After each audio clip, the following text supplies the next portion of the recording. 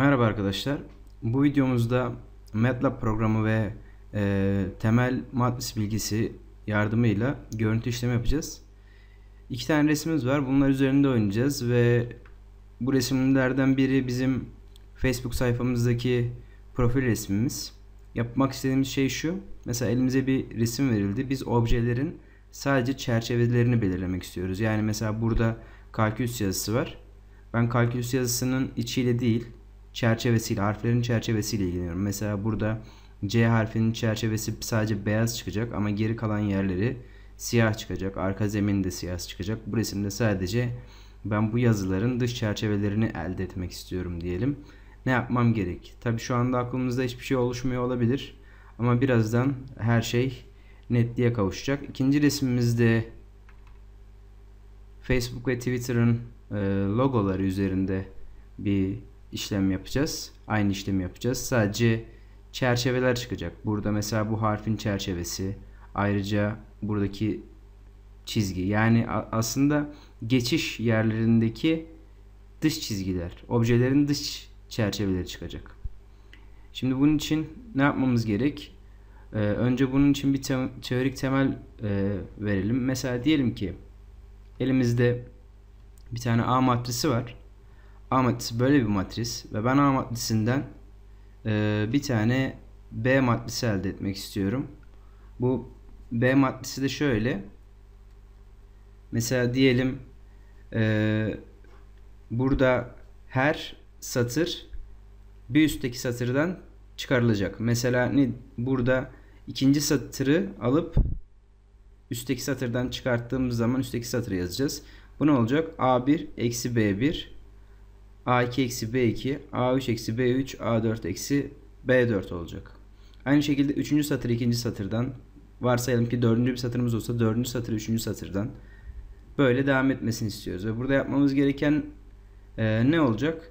Elementary row operation diye bir şey var. Burada eksi R1'i R2'yi R1'i ekleyip nereye yolluyoruz? R1'e.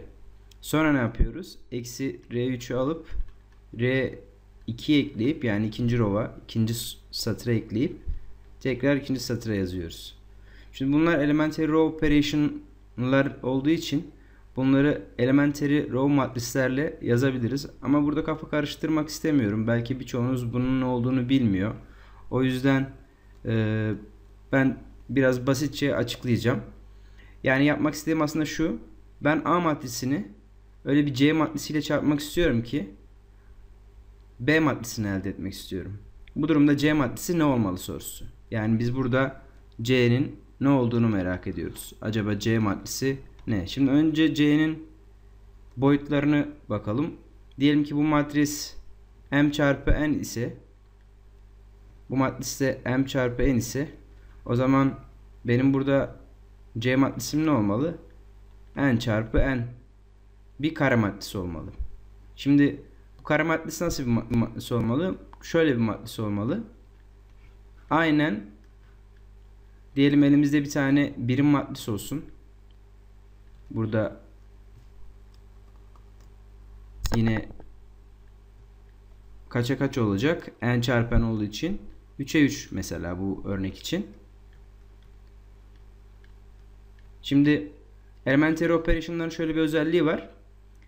Şimdi identity matrisi aynı elementary operation'ları uygulayıp A matrisiyle biz soldan çarparsak aynı şey alacağız. Yani demek istediğim şu. Burada bu satırı, bir, ikinci satırı birinci satırdan, üçüncü satırı e, da ikinci satırdan çıkardığımızda C matrisini edeceğiz. Yani C matrisimiz şu olmalı. Zaten kontrol edeceğiz birazdan. 1 eksi 1 0 0 1 eksi 1 0 0 1 matrisi olacak. Şimdi bakalım cidden bu doğru mu? Cidden B matrisini verecek mi? Bu iki çarpım. C çarpı A. 1 eksi 1 0 0 1 eksi 1 0 0 1 bunu A1 A2 A3 A4 B1 B2 B3 B4 C1 C2 C3 C4 ile çarpalım. Şimdi ilk çarpma işleminde ne olacak? A, A1 çarpı eksi B1 gelecek. Ve 0 çarpı C1 gelecek. Oradan bir şey gelmeyecek. Yani ilkimiz ilk entry'miz A1 eksi B1 oluyor beklendiği gibi. Aynı şekilde bunu burayla çarparsak bu entry'yi yazmamız gerekiyor. O durumda A2 çarpı 1 eksi 1 çarpı B2 0 çarpı C2 yani A2 eksi B2 gelecek. Ve kontrol edersek cidden bu matris çarpımında bize B matrisi gelecek. Geri kalan işlemleri yapmayacağım. O yüzden bizim C matrisimiz ne olmalıymış? 1 eksi 1 0 0 1 eksi 1 0 1 1 yani yapmamız gereken birim matrisin ardışık satırlarını birbirinden çıkarmak. Birini diğerinden çıkarmak. Burada şöyle bir şey alacağız genel olarak. Eğer yani dimension önemsiz bir şekilde düşünüyor düşünüyorsak yapacağımız şey şu olacak. Mesela diyelim bizim burada 3 çarpı 4 değil de 1000 çarpı 2000 bir matrisimiz varsa o zaman C matrisimiz ne olacak? 1000 çarpı 1000 olacak ve enterleri nasıl olacak? Burası 1, eksi 1, 0 diye gidecek. Sonra 0, 1, eksi 1, 0 diye gidecek. Sonra 0, 0, 1, eksi 1 diye gidecek. Yani kaydıra kaydıra şunu 1, 1 kaydıra kaydıra ve başına 0 ekleyerek devam ettireceğiz aslında. C matrisimiz genel olarak bu formda olacak. Şimdi nasıl elde edeceğimizi öğrendik. Şimdi bu ne işimize yarayacak? Kodum bir kod yazdım. Ben o kodu açıklayacağım.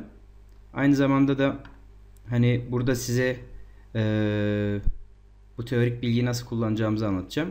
Şimdi öncelikle biz resimlerimizin e, nerede olduğunu ve adlarının ne olduğunu MATLAB'a belirtmemiz lazım. Yani MATLAB'ın bu resmi okuması lazım. Şimdi üniversite matematikti o ekrandaki resmimizin adı. Tekrar istiyorsanız bakabiliriz.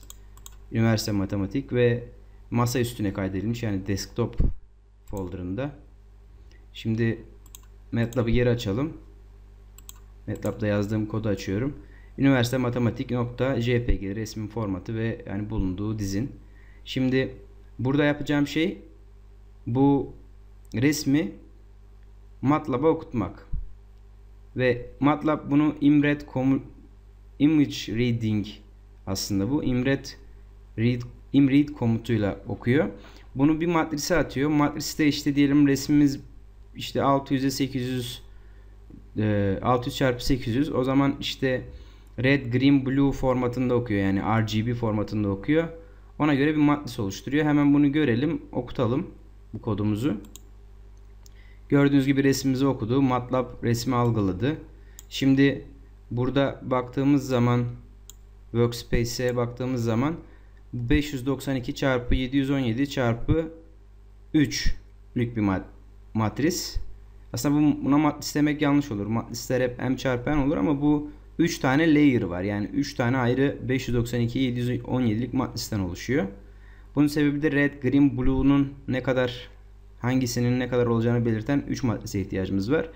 Bizim resmimiz 592 çarpı 717 idi. O sebeple buradaki matrisin dimensionları bu oldu. Her enter'de her pikselden ne kadar red, ne kadar green, ne kadar blue olduğu belirliyor. Şimdi kodumuza tekrar dönelim. Şimdi kodda ikinci partta yapacağımız şey şu. Bu matrisi alacağız. Yani bu resmi alacağız. Aslında bu bir tane matris. Bunu RGB'den yani red, green, blue formatından sadece siyah ve beyazın tonlarını atacağız. Böylelikle bunu 3 katmandan değil de 3 layer'dan değil de tek bir layer'dan yani tek bir matristen oluşacak hale getireceğiz. Tabi gray'de burada double komutu yani double değil enter'ler double değil double nedir işte biraz reel sayı gibi diye düşünebiliriz. Diğeri ise e, integer olarak atıyor aslında. İnteger demeyeyim de başka bir in, evet integer formatında atıyor. Onu double'a çeviriyoruz burada. Sonra da a'yı gösteriyoruz. Yani kısaca biz bunu ne yaptık? Siyah beyaz formata çevirdik aslında yani burada. Hemen görelim. Şimdi aynı resim burada gördüğünüz gibi siyah beyaz formatta karşımıza çıktı. Şimdi yapmak istediğim şey şu. Şimdi siyah beyaz matrisimizi bir inceleyelim. Şimdi A matrisimiz red green blue formatında. Burada ee, bir dakika. Heh. D matrisimiz ise siyah beyaz formattaki resmimiz. Şimdi içini açalım bir bakalım siyah beyaz formattaki resmimize. Şimdi siyah beyaz formattaki resmimiz kaça kaç? Ee, siyah beyaz formattaki resmimiz A matrisimiz bu arada yanlış söyledim. Ee, siyah beyaz formattaki matrisimiz 592 çarpı 717'lik bir matris. Şimdi burada e, her piksel yani mesela şurada resmimizi açacak olursak resmimizi tekrar açacak olursak şimdi mesela burası 0'a 0 konumu atıyorum burası 0'a 1 konumu böyle kareleri doldurmuş durumdayız. Siyaha yakın yerler yani siyaha yakın tonlar 0'a yakın. Ee, beyaza yakın tonlar ise 1'e yakın şeyler halinde e, sayılar halinde verilmiş. Mesela burada bir yerde göreceksiniz 500 bir şey var. Muhtemelen o resmin e, şu kısımlarından biridir diye tahmin ediyorum. Şimdi şöyle düşünelim. Yakın yerlerde, birbirine yakın yerlerde renk değişimi çok fazla olmayacak. Ve bu matrisin, şurada verilen matrisin eğer ben mesela burada ikinci satırını ilk satırından çıkarırsam ne yaparım? İlk hiza yani şu resmin şuradaki ilk hizasıyla ikinci hizası arasındaki renk değişimini belirlerim değil mi? Eğer bu renkler birbirine çok yakınsa değerler ne olacak? Birbirine yakın olacak ve sıfır olacak. Yani siyah yakın değerler çıkacak.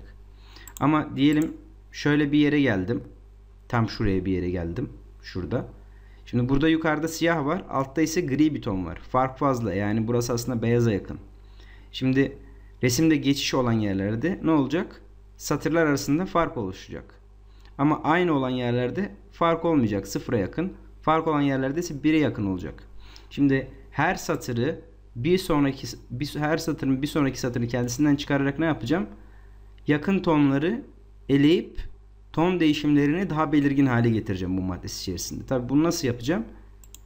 Buradaki teorik bilgimizle. Hani biz burada ne yaptık? Teorik bilgi kullandık. Bir tane C maddesimiz olacak şu formatta. Onu biz ne yapacağız? A maddesimizle çarpacağız. Buradaki A maddesimiz ne? Bizim e, gri yani siyah beyaz resmimizin entry'leri den oluşan matris. Şimdi o ne? 592 717. O zaman ben 592 çarpı 592 bir identity matrisi ne yapmam lazım? O az önce söylediğim e, elementary operation'lar uygulayarak bir C matrisi elde etmem lazım. Peki bunu nasıl kodda yapacağım? Şimdi kodda önce A matrisinin e, boyutlarını hesaplattım. Onların işte e, sütun sayısı, row, sütun sayısı, satır sayısını e, belli harfleri, değişkenler atadım. Mesela m satır sayısını, n ise sütun sayısını belirtiyor. Burada i komutu var. c eşittir i diye bir komut var. Şimdi bu komut şu. E, m 592 burada tabii a matrisi için. 592 çarpı 592 identity matris veriyor c'ye. Sonra ben burada bir kod döndürüyorum. O kodda yaptığım şey şu. c'nin e, identity matrisi nedir? Şuralar hepsi sıfırdır değil mi? Şu şu şu sıfırdır. O sıfırları ben eksi 1 ile değiştirerek C maddesini elde ediyorum identity maddesinden. Hemen bakalım. Cidden hani yaptığım kısım doğru mu diye. Şöyle yapacak olursak önce C maddesini gösterelim ben bir. Şimdi kodumuzu çalıştıralım. Kodumuz çalıştı. Şimdi MATLAB'a geri dönelim. Burada bir C maddesi oluştu gördüğünüz gibi. Hemen C maddesi inceleyecek olursak gördüğünüz gibi bu identity maddesi. Şimdi bir sonraki kodu uygulayalım. Yani burada bir for döngüsü var. O for döngüsünü uygulayalım. C maddesinin değişimini gözlemleyelim. Şimdi for döngüsü de çalıştı. Gördüğünüz gibi 1 eksi 1, 1 eksi 1, 1 eksi 1, 1 eksi 1 formatında bir maddesi oluştu. Şimdi yapacağımız şey ne? Bu C maddesiyle A maddesini çarpıp o dediğimiz şuradaki B maddesini elde etmek. B maddesi neydi? Birbirine yakın olan tonları eliyordu. Fark olan yerleri ise belirginleştiriyordu. Şimdi hemen yapalım bu resim üzerinde. Ve çarpma işlemini yapalım ve resmimizi gösterelim. Bakalım resmimiz ne oldu. Şimdi kod çalıştı. Maddesi oluştu. Gördüğünüz gibi resmimiz burada. Şimdi bu resmi ekrana masa üstüne bir kaydedelim. Daha belirgin bir şekilde görelim. Bunu untitled e, 1 olarak kaydedelim. Şimdi masa üstüne gidelim. Untitled bir dokümanını açtığımızda yakınlaşınca ne oldu? Belirgin ton, yakın tonlar elendi. Fark olan yerler ise belirginleşti. Harfin içerisindeki renk tonları da aynı olduğu için onlar da elendi. Sadece çerçeve kaldı. Çünkü çerçevenin üst kısmı başka bir ton iken tam e, harfe geçtiğimiz yerde ise başka bir ton var. Bu yüzden ikisi arasındaki farklar belirginleşti. Şimdi eğer biz e, şeyi sevmiyorsak yani çerçevenin siyah oluşunu şey çerçevenin beyaz zeminin siyah oluşunu sevmiyorsak burada yapmamız gereken bizim sadece D matrisimizi her entrisi 1 olan bir matristen çıkarmak olacak. O da çok hani zor bir şey değil. Böylece renkleri ters çevirmiş olacağız. Hemen bakalım cidden öyle mi görelim. Gördüğünüz gibi renkler ters çevrildi. Şimdi burada yeteri kadar belirgin olmayabilir ee, bizim çerçevemiz. Burada yapacağımız şey o zaman bu matrisi biraz e, belli bir sayıyla genişleterek e, daha belirgin hale getirmek. Mesela 2 ile genişletelim. Bu durumda ne olacak? Daha belirgin bir hale geldi gördüğünüz gibi dış çerçeve. Şimdi diğer resmimiz ise Facebook ve Twitter logolarıydı. Hemen onlara bakalım. Facebook ve Twitter e, resmini koyduk. Şimdi buradaki resme geçeceğiz. Ama önce hesap yapıyor. Heh. Şimdi resmi gördünüz. Resimde Facebook ve Twitter logolarının dış çerçevesini çıkardı. Şimdi burada bakacak olursak Facebook ve Twitter logoları nasıldı? Bu şekildeydi. Burada bizim elde ettiğimiz görüntüde ise sadece dış çerçeveler belirgin bir hale geldi. Son olarak e, sürpriz bir resmimiz var. Bu hani bu, bunlar aslında basit resimler olduğu için belki size yeterince yani bunlar basit resimler, karmaşık resimler değil. Belki bu uygulamanın çok hani faydalı olmayacağını düşünüyor olabilirsiniz ama cidden faydalı. Hemen mesela burada sürprizimiz olan resmi gösterelim. Ee, bizim düğün biz, e, düğün dernek filmindeki Fikret, e, Fikret karakterini bir aynı prosesten geçirelim. Aynı işlemden geçirelim. Bakalım ne olacak. Burada Fikret JPEG olarak kaydettik. Hemen onu kodumuza yerleştirelim. Bakalım Fikret nasıl çıkacak. Fikret'in yüzünün çerçevesini çıkarmayı istiyoruz. Gördüğünüz gibi Fikret belirgin bir halde dış çerçevesi, gözlüğün çerçevesi, bıyıkları, burnu, ağzı çıktı. Şimdi bunu masa üstüne kaydedelim. Biraz daha yakından inceleyelim. Bunu da untitled 1.2 olarak kaydedelim.